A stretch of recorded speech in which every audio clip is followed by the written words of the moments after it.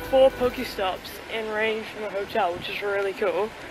And already look here, we got an Oddish, which I am super happy about. What?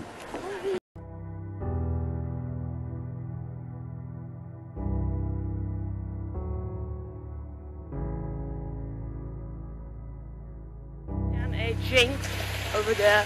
It's my brother. It's his. Uh, he doesn't have it yet, so it'll be a new Pokemon for him.